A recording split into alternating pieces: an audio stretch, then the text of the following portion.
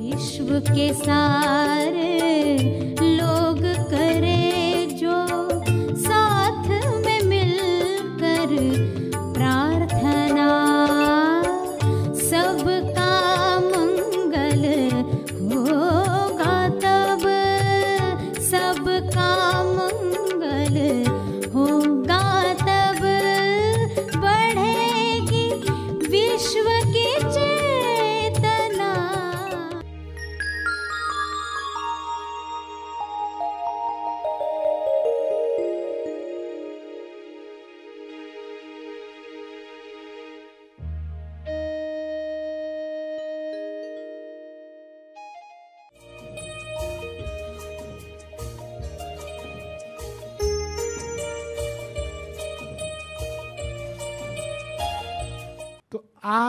ध्यान का शुद्ध दान करो।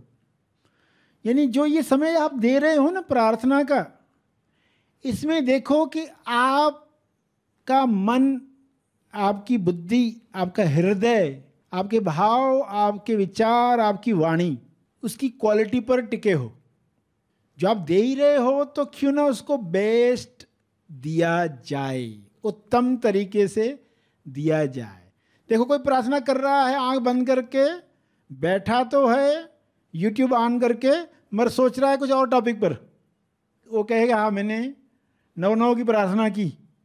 यूट्यूब चल रहा था, मैं अपना सोच रहा था। तो ये ध्यान का शुद्ध दान नहीं है, क्योंकि हमें इसको मल्टीप्लाई करवाना है। ये बीज हज़ारों गुना मल्टीप्लाई हो जाए। तो आप जो कर रहे हो ना अब ये समय दिया ही है ना? तो ये कुछ मिनट पूरे शुद्धता के साथ, उसमें कोई मिलावट नहीं है। ये है ध्यान का शुद्ध दान। और दिल से करें और क्वालिटी के साथ करें। देखो, दो मिनट भी आप दे रहे हो ना तो इसको मैं पूरे शुद्धता के साथ डोनेट करने वाला हूँ। तो हमारी ज़िम्मेदारी छोटी सी भी क्यों ना महसूस होती हो, मगर पूरी क्वालिटी के साथ आप वो दान करें। समय दान है ये। समय दान जो हर दिन दे रहे हैं। सभी को शुभेच्छा। हैप्पी थॉट्स तेज ज्ञान फाउंडेशन द्वारा आयोजित ध्यान प्रार्थना बीज बोने के लिए आप सबका स्वागत करते हैं।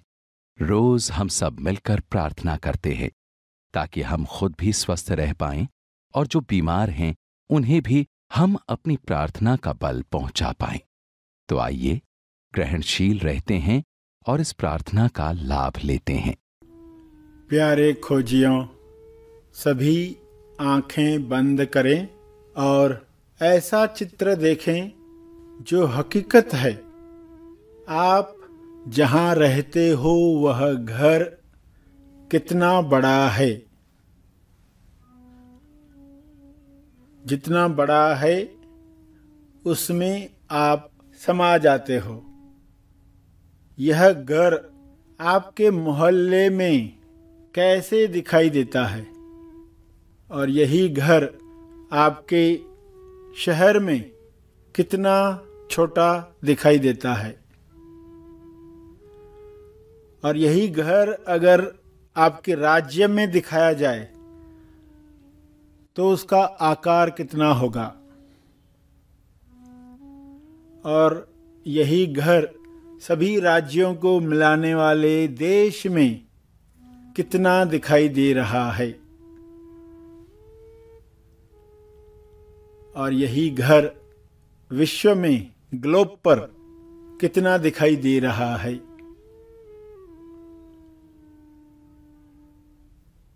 उसकी साइज़ उसका आकार और इतना छोटा आकार उसके अंदर आप और आपके अंदर अहंकार। तो उसकी साइज़ कितनी? उसका आकार कितना? उसकी पहुँच कितनी? और यह ग्लोब ब्रह्मांड में किस साइज़ का है? जब इस तरह कोई मनन करता है, तब अहंकार को झुकने का, समर्पित होने का संदेश मिलता है। अहंकार को आईना मिलता है। प्यारे खोजियों, अहंकार को आईना दिखाओ। अहंकार से मुक्ति के लिए स्वदर्शन ज़रूरी है। स्व सेल्फ का दर्शन और शरीर में बने व्यक्ति का दर्शन। यह दर्शन अलग श्रेष्ठ मानने वाले व्यक्ति को समर्पित करवाता है, करता है। तो यह प्रयोग तब तब ज़रूर करें जब मन स्वयं को श्रेष्ठ बताकर दूसरों को नीचा दिखाने की कोशिश करे और प्रार्थना करें कि यह सदा आईने में अपना दर्शन करे और ईश्वर की अभिव्यक्ति में मदद करे। हे परमात्मा, आप इस अहंकार को सदा अपने चरणों में रखो। स्वयं को अलग मानकर जो दुख, बीमारियाँ, असंतुष्टि, अविश्वास, तकलीफें, तनाव, भोगा है, उसके लिए मैं क्षमा प्रार्थी हूँ। कृपया इन सारे विकारों को समाप्त करें, मेरे अज्ञान को दूर करें। पृथ्वी पर जो भी मनुष्य अहंकार को आईना नहीं दिखा पा रहे हैं, उन सबको दर्पण मिले, स्वदर्शन मिले। यह हो सकता है। आपकी कृपा से यह हो रहा है। आपका बहुत बहुत धन्यवाद। बचपन में हम जैसे पालने में थे, वैसी अवस्था बड़े होकर बुद्धि के जगने के बाद भी अहंकार रहित अवस्था फिर से प्राप्त कर पाएँ और आश्चर्य बोध में जीना सीख पाएँ। ऐसी कृपा की मांग प्रार्थना में करें।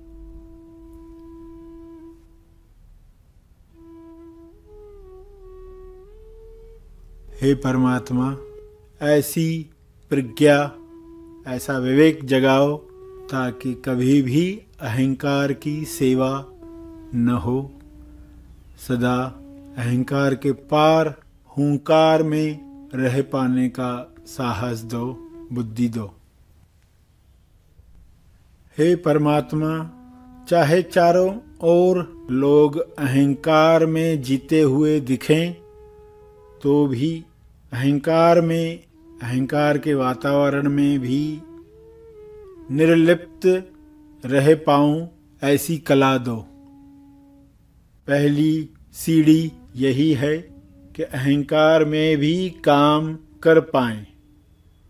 दूसरों के अहंकार को देखकर अपने केंद्र से न हट जाएँ, ताकि सदा प्रेम, आनंद, मौन में रह पाएँ।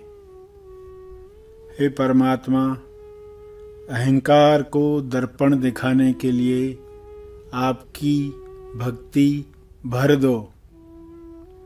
भक्ति में सब समर्पित हो, ईश्वर के गुण आत्मसात हों। अहंकार के मरने, जगने के चक्र में चौरासी लाख जन्मों की साइकिल चल पड़ी है।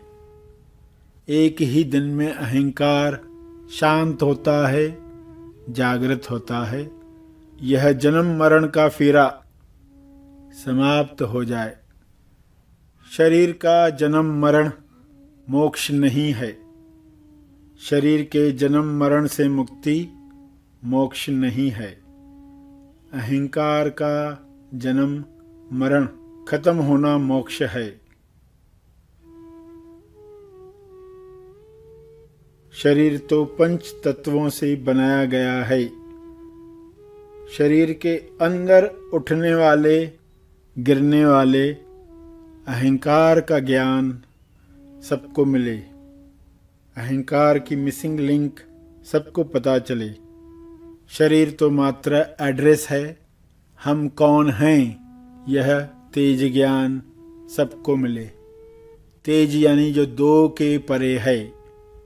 सुख दुख, शोर शांति के परे है, मैं और तू के पार है। यह ज्ञान सबको मिले। अहंकार को समाप्त करने के लिए आत्म परीक्षण करें। अहंकार को यह दर्पण दिखाएँ कि आपका अस्तित्व इस ब्रह्मांड में एक तिनके जितना भी नहीं है।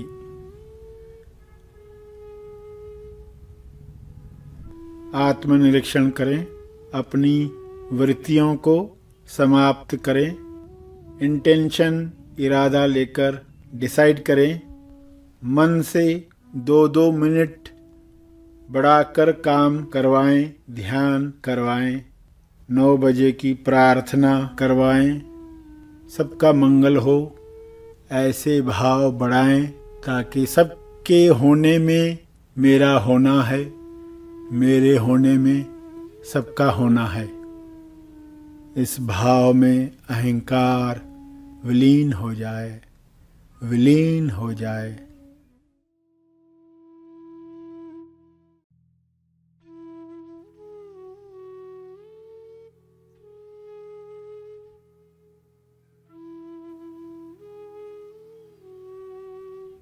प्रार्थना के अंत में।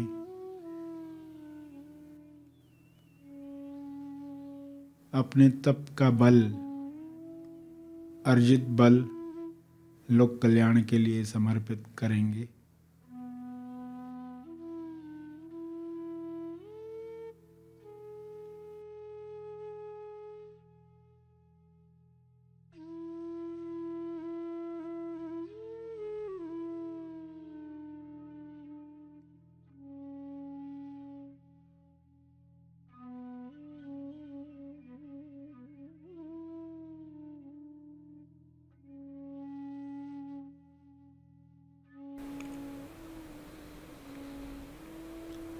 सभी धीरे धीरे आँखें खोलें। आइए सब ग्रहणशील होते हैं एक चेतना संदेश सुनने के लिए।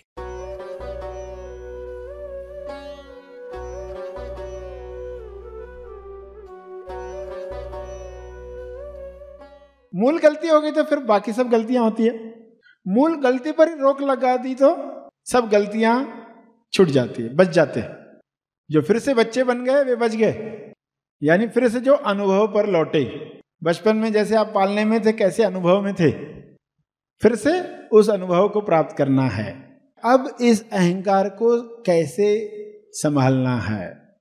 अब ये अहंकार है, ये नहीं होना चाहिए। ऐसा सिर्फ़ कहते रहोगे तो नहीं होगा। उसके लिए जैसे आप बिजली है, बिजली में हाथ लगाया तो शौक लगता है। तो आप क्या करते हो? दस्ताने पहनते हो। फिर हाथ लगाते हो क्योंकि आपको वो काम करना है उसके ऊपर। वायर निकाल के दूसरी जगह लगाना है। काम करना है ना? यानी संसार में रहोगे तो चारों तरफ़ अहंकार की सेवा चल रही है। चारों तरफ़ लोग अहंकार में जी रहे हैं। तो काम तो इनके बीच में ही करना है तो दस्ताने पहनने हैं और फिर टच करना है। आप कहोगे, लोगों में अहंकार नहीं होना चाहिए, उससे काम नहीं चलेगा। कई लोग खाली ये सोचते रहे, ऐसा हो जाना चाहिए, वैसा हो जाना चाहिए। उससे नहीं, पहले अहंकार में काम करना सीखो तो सही। अहंकार के वातावरण में तुम्हें शौक नहीं लगना चाहिए। दूसरों के अहंकार से तुमको शौक नहीं लगना चाहिए। हाथ लगाओ, मगर दस्ताने में। तुम्हारा अहंकार तुमको तकलीफ़ न दे दे। अब ये पिघलने लगा है। विलीन होने की तरफ़ जा रहा है। हर दिन देखोगे, समर्पण बढ़ते जा रहा है, भक्ति बढ़ते जा रही है। तो ये हो जाएगा। और फिर इसी अहंकार को ही विलीन करने के लिए इतनी मूर्तियाँ बनी। किसी के सामने तो समर्पित करे इंसान। चलो तुमको ये भगवान पसंद नहीं तो इस भगवान की पूजा करो। किसी के आगे तो समर्पण हो। ये सब आयोजन किस लिए था? ये मूर्ति पूजा रहस्य है। ये सब अहंकार को गिराने के तरीके। इतने वर्षों से चलते आ रहा है। ईश्वर के गुण हमारे अंदर आए। तो सच्चे भक्त तो सही ढंग से काम होगा। अहंकार समर्पित हो जाए तो सच्चे भक्त। इस तरह पूजा होनी चाहिए। और ये अहंकार का उठना, पैदा होना, मरना, चलते रहता। दिन भर में देखोगे, अभी अहंकार शांत है, अभी अहंकार जाग उठा। अभी अहंकार मर गया, अब फिर से पैदा हो गया, फिर से मर गया, फिर से पैदा हो गया। दिन में कितनी बार? इसी को तो जन्म मरण का चक्र कहा गया। मगर लोग शरीर के जन्म मरण को पकड़कर बैठे। चौरासी लाख जन्म होंगे, फिर इंसान बनेंगे, फिर वापस से चौरासी लाख होंगे। इसके पीछे क्या था? ये तो केजी का जवाब है। शरीर के जन्म मरण से मुक्ति को लोग मोक्ष मानकर बैठे हैं। अहंकार का जन्म मरण खत्म हो, वो मोक्ष है।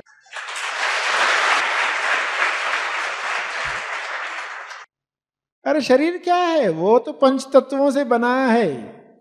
वो तो विलीन हो जाता है। उसका जन्म मरण की बात नहीं चल रही। एक बिल्डिंग बनाई, तोड़ के दूसरी बिल्डिंग बनाई, वही मटेरियल यूज़ किया इधर। मटेरियल तो वही घूमते रहेगा। उसका जन्म मरण नहीं। हे, जो शरीर के अंदर अहंकार है। इसका जन्म मरण, जो अपने आप को सेपरेट व्यक्ति मानता है, मेरा जन्म। असली बात लोग भूल गए। मिसिंग लिंग इसको कहा गया। लुप्त हो गया जो ज्ञान। अब फिर से उसको लाना। है तो ये आयोजन चल रहा है। आप साक्षी हैं उसके कि कैसे लुप्त ज्ञान को फिर से लाया जा रहा है। इसका फ़ायदा आपको तो हो ही हो। विश्व के हर इंसान को इसका फ़ायदा हो। वरना लोग शरीर के जन्म मरण की मृत्यु को अपना जन्म मरण मान लेते हैं। शरीर तो आपकी एड्रेस है। एड्रेस आप कैसे हो सकते ये तो आपकी एड्रेस है। उसके जन्म मरण में मत जाना। ये जो अहंकार दिन भर में पैदा होता है, मरते। ये चक्कर खत्म हो जाए। ये चौरासी लाख है। इससे मुक्त होना है। तो मोक्ष, निर्वाण ऐसे बड़े बड़े शब्द लोग सुनते हैं, सोचते हैं, कि हमें वापस जन्म नहीं मिले तो हम मुक्त हो गए।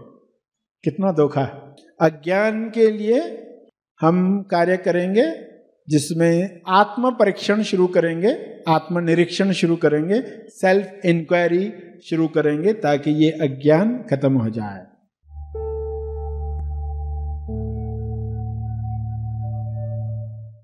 प्रार्थना और मार्गदर्शन का सभी ने लाभ लिया। आइए यहीं पर समाप्त करते हैं। कल फिर मिलेंगे। तब तक के लिए धन्यवाद।